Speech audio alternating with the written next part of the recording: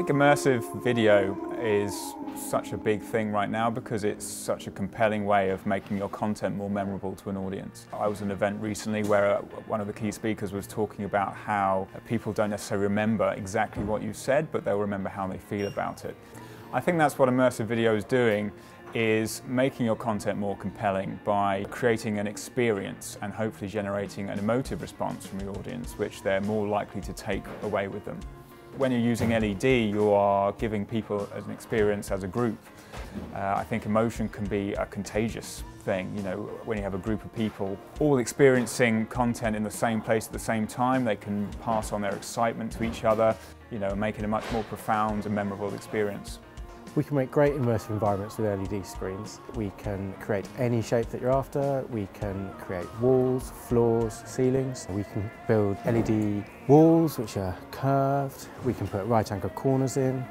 And as the pixel pitch of these screens reduces, we are able to create very high resolution scenery. So when we bring all these elements together, we're able to build full 3D environments where we have video on the floors, the ceilings and the walls, and the punters are able to walk straight into those environments and be fully immersed in video.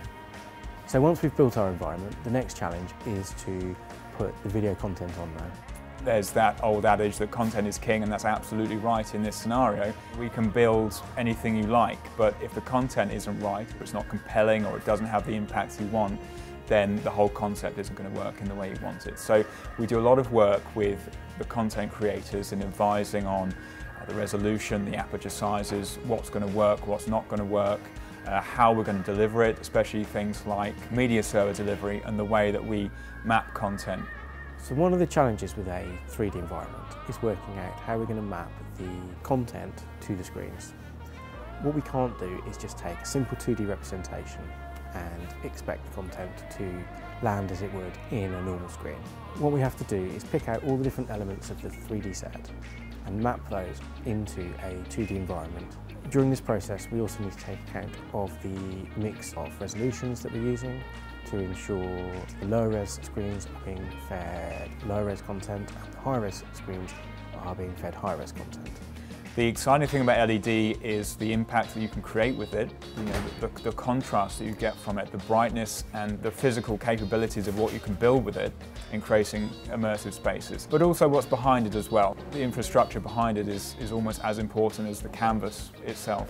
So once we have our 3D environment designed, we then take the resolutions of all the individual screens and we map those onto our computer outputs. We call this a pixel map.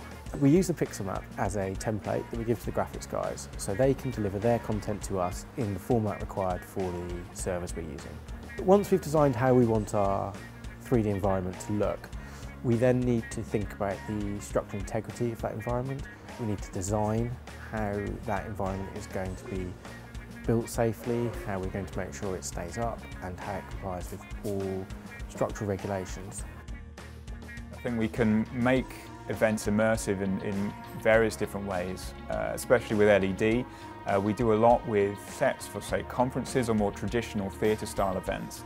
Uh, where you may use more of a, a flattage and, and, print set. We can create digital canvases, but we can then make them more immersive for a, a conventional audience by parts surrounding them with content or using lighting fixtures and, and triggering lighting as well as video. We can then bring audio in at the same time uh, and create an immersive experience for people uh, inside of a more traditional setting. So in the future, we fully anticipate these scenic elements are going to become more lightweight, they're going to become high resolution, there's going to be a lot more creativity in the shapes that we're able to buy, to build, to use. What that means is immersive environments of the future are only going to become bigger, more creative and high resolution than they are today. Ultimately, it's our job to advise, to bring new ideas to the table and hopefully be part of a process where the people we work with are pushing the boundaries of what they knew was capable for their events.